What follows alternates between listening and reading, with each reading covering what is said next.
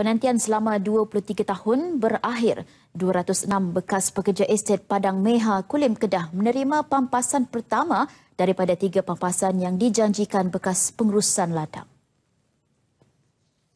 Kes tersebut S. Dana Raj berkata tuntutan pampasan bekas pekerja yang diberhentikan kerja akibat ladang tersebut dipindah milik diluluskan oleh Mahkamah Tinggi Kuala Lumpur pada 10 April lalu.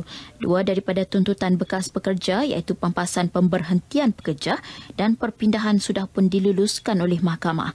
Manakala pampasan bagi pembinaan rumah masih dalam proses perundangan yang membabitkan beberapa pihak. Buat permulaan, pampasan pemberhentian pekerja diterima 53 bekas pekerja yang sudah melengkapkan semua dokumen yang diperlukan.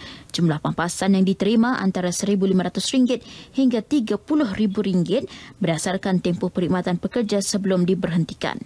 Bagi pampasan perpindahan, ia akan dibayar dalam tempoh dua tahun. Perasaan saya seronoklah semua yang dapat saya pun dapat saya pun beri berterima kasih lah kepada sokongan semua penduduk ya. kawasan ni lah. Ya, ya, ya. Penduduk-penduduk kawasan ini. Gembira lah. Boleh tolong kawan-kawan semua. Bekas-bekas kerja pada Merah semua. Saya gembira lah hari ni. Saya puas hati. Ha, hari ni, untuk hari ni. Ha, seterusnya. Jadi kalau lawyer panggil bila pun saya akan pergi Kuala Lumpur.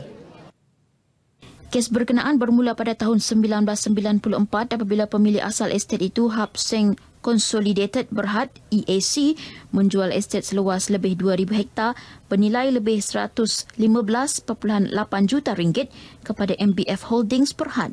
Pada tahun 1995, satu perjanjian penyelesaian antara EAC dan MBF dipersetujui iaitu lebih 7.05 juta ringgit dibayar untuk menyelesaikan papasan kepada pekerja ladang.